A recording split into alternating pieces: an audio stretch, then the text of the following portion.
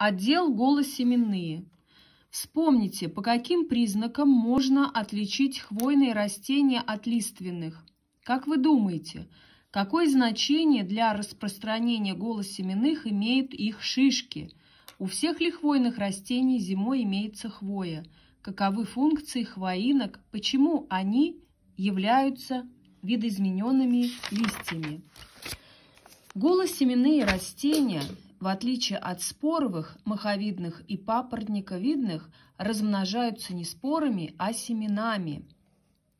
Семена у них образуются в шишках и располагаются на поверхности их чешуек открыто, голо. В связи с этим и возникло название очень большой группы растений, около 700 видов, голосеменные. Типичными представителями голосеменных являются хвойные.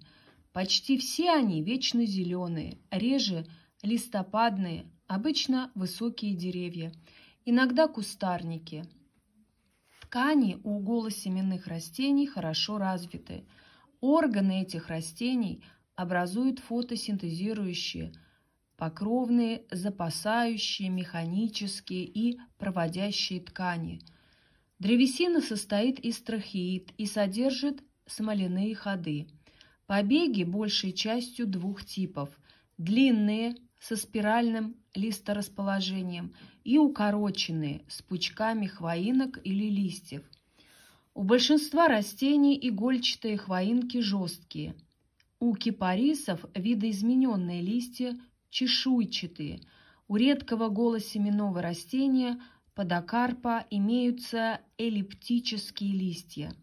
Хвоинки подкры, покрыты толстым слоем кутикулы, устица погружена в ткань листа.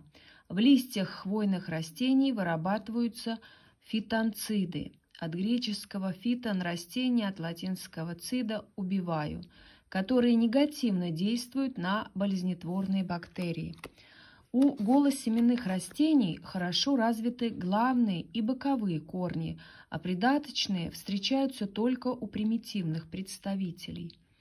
В цикле развития голосеменных последовательно происходит смена двух поколений – гаметофита и преобладающего спорофита.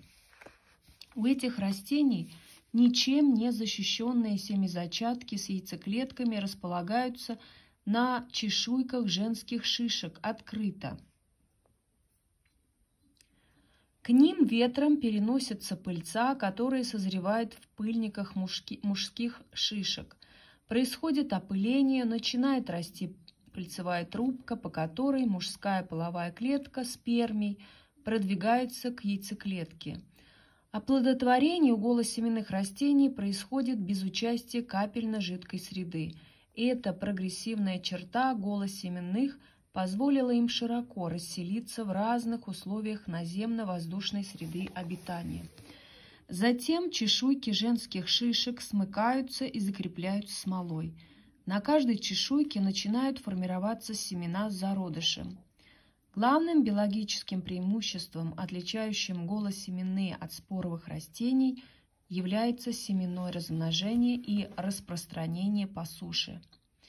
Семена с запасом питательных веществ и хорошо сформированными зародышами обеспечивают лучшее возобновление новых молодых голосеменных растений, чем споры мхов и папоротников. Голосеменные растения появились на нашей планете более 350 миллионов лет назад – в это время климат планеты начал становиться более сухим и холодным, неблагоприятным для жизни размножения споровых растений. Семено размножения голосеменных помогало им выживать и распространяться по земле. Массовое расселение голосеменных совпало с процессами горообразования, поднятия материков и иссушения климата. У растений, относящихся к отделу голосеменные, размножение осуществляется семенами и оплодотворение не связано с наличием воды. Ткани более развиты по сравнению с тканями споровых растений. Голосеменные – древние растения.